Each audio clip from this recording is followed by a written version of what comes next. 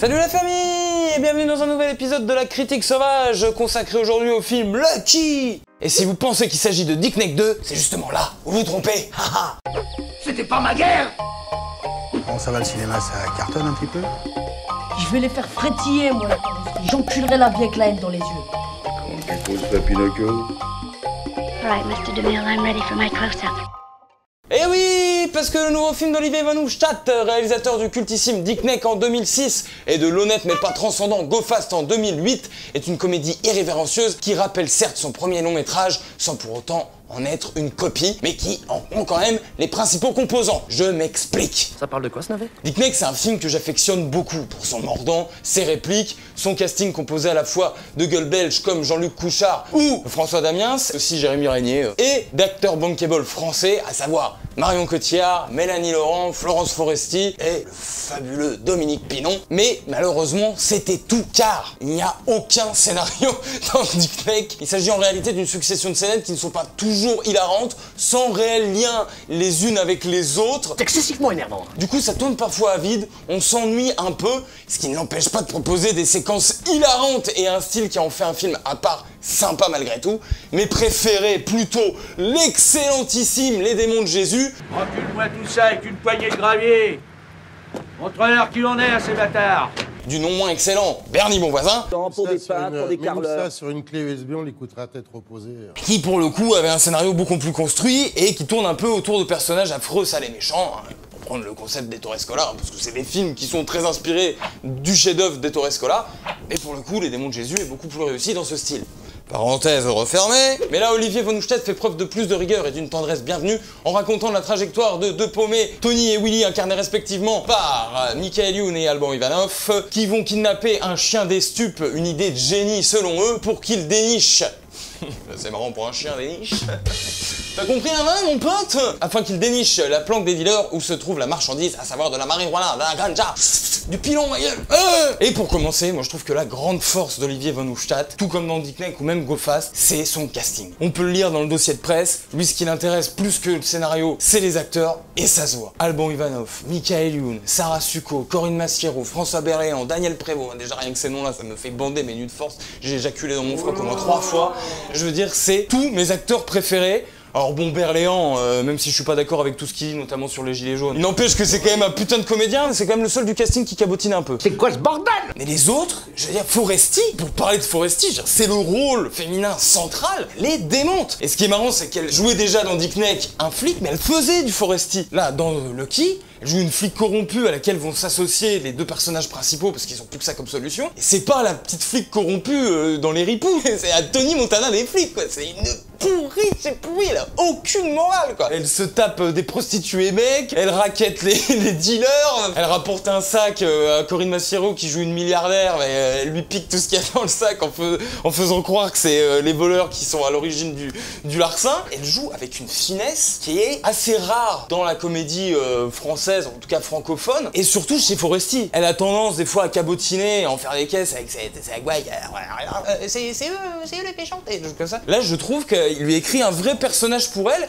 et on s'attache à elle. C'est pas la ripou, tu dis putain bon elle, pff, rien à foutre, non, tu sens qu'elle a quand même une espèce de tendresse envers Michael Youn et Alban Ivanov, qu'elle veut les aider, mais à sa façon. Alban Ivanov, bon, il joue un peu le gros lourdeau, un peu paumé comme d'habitude, mais je trouve qu'il apporte une finesse, une émotion, une tendresse qu'il n'y a pas dans ses autres films. Et euh, Michael Youn n'a jamais été aussi bien dirigé. Et tous les autres personnages secondaires féminins existent et tu sens qu'il veut les faire vivre. Sarah Succo, elle a une espèce de relation avec Alban Ivanov, c'est hyper mignon, c'est touchant, tu vois, ils s'offrent des tacos, ils osent pas s'avouer leurs sentiments, mais sans pour autant être euh, tirer les violons, derrière un machin, et puis tu sais jamais s'ils finissent ensemble ou pas. Puis ça mélange, ouais, ces personnages euh, à la fois euh, tendres et émouvants, et puis Corinne Massiero qui est une euh, nymphomane totale milliardaire et qui amène les principaux gags du film un peu sexuels, etc., avec des grosses allusions. Ah, ma bourse.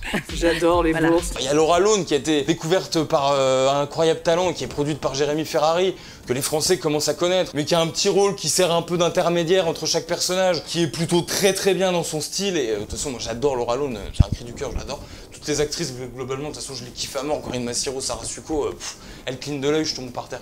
Donc, je veux dire, euh, elles sont vraiment exceptionnelles. Et c'est des nanas qu'on n'a pas l'habitude de voir ailleurs et que elles ont des gueules, quoi. C'est ça que j'aime chez Olivier Von Hofstadt, c'est qu'il va chercher des gueules. Le gros dealer principal est incarné par Esteban, qui est le leader de- des Naive New Beaters. Lui, pour le coup, je veux dire, ça fonctionne à donf. D'un côté, t'y crois, parce qu'il est assez imposant, il est grand, etc. Puis dès qu'il ouvre la bouche, tu sens que c'est pour se foutre la gueule des dealers, mais complètement. Là où dans Gangsterdam, ça marchait pas du tout avec le personnage de Manu Payet, parce que tu savais pas s'il voulait en faire un personnage ridicule ou s'il voulait en faire un personnage sérieux. C'était hyper bancal. Alors que là, clairement, il veut se foutre de la gueule du personnage de dealer, quoi. Donc tu te marres avec lui. Et puis il y a Cody Kim aussi, un humoriste belge que je connaissais pas. Le personnage du fils de Michael Youn est incarné par le fils de son chef d'écho. Le fils de Laura Lone dans le film, c'est le propre fils d'Olivier Von Hofstadt. Il y a une espèce ouais, de bienveillance autour de tout ça et ça se ressent dans le film. Et c'est jamais cucu la praline, ça reste toujours de la comédie, mais par moments, on est pris. Il y a une scène avec Michael Youn qui prend son fils dans les bras et ça fonctionne. Je veux dire, Michael quand il est bien dirigé, est quand même bon cet abruti. Et il y a le petit chien Lucky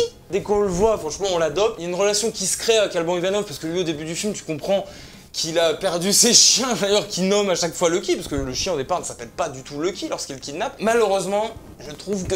On aurait dû le voir peut-être un tout petit peu plus. Lucky, c'est quand même le titre du film, le gros enjeu du truc, et c'est lui qui crée un peu euh, toutes les situations. Et il y a un moment où on le voit plus trop quoi, Euh, c'est dommage. Les gags me font profondément marrer, il y a vraiment beaucoup de jeux sur les répliques, sur les situations, sur les cascades qui sont à la fois comiques et hyper bien réglées, sur un ton belge quoi, tout simplement. C'est totalement politiquement incorrect. Ça ne va pas trop loin. Moi c'est un peu le reproche que je fais au film, c'est que ça aurait pu aller encore plus loin, mais bon maintenant dans le système de production qu'on a, c'est un mec qui a pas tourné depuis 12 ans, donc je pense qu'il a mis la pédale douce. Mais moi je trouvais que Dick Neck allait pas plus loin que ça non plus. Et puis ouais, c'est un rythme effréné, ça n'arrête pas une seule seconde. Même s'il y a des trucs, moi, que j'aime moins, notamment il y a une scène de vomi où ils sortent un prévenu de la bagnole, le mec s'est gerbé dessus et tout. C'est pas mon gars préféré du film, mais il y a tellement d'emballage autour, hyper euh, géré, avec une musique signée Agoria en grande partie, avec d'autres collaborateurs, dont Jacques notamment.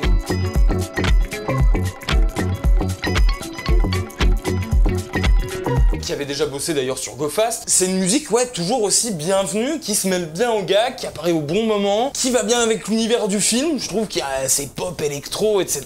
Je sens que c'est pas complètement à côté de la plaque. Et surtout, il arrive à rythmer la musique avec les actions des personnages. Tu vois, par exemple, le générique de début, euh, Alban Ivanov qui claque des doigts, puis qui pointe son doigt comme ça, tout ça. C'est rythmé sur la musique. C'est ça ce qui fonctionne chez Olivier Hofstadt, c'est qu'en fait, il y a une ambiance. Il prétend pas être un grand réalisateur, il le dit lui-même, mais tu sens que par petites touches, il y a des éléments très malins de réalisation.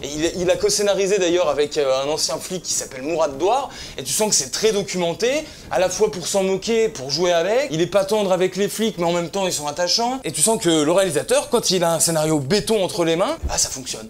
Et c'est ce qui manquait à Dick Neck. Enfin, moi, c'est mon petit péché mignon. Là, je trouve que c'est beaucoup mieux que Dick Neck parce que tu retrouves cette espèce de verve belge qui fait son charme et en même temps, bah, c'est carré, c'est simple, c'est efficace. Foncez voir Lucky parce que je pense que ça va pas cartonner au box-office, c'est pas parti pour faire 2 millions d'entrées. Vous laissez pas berner par l'affiche qui est un peu dégueulasse et allez voir ce film qui franchement vaut le coup d'œil. C'est pas le film de l'année, mais c'est un très très bon divertissement et ça change de ses bons absolus avec Christian Clavier et compagnie. S'il faut que les Belges s'allient avec des Français pour faire des bons films, bah putain, allez-y quoi les gars, faites-vous plaisir hein, parce que...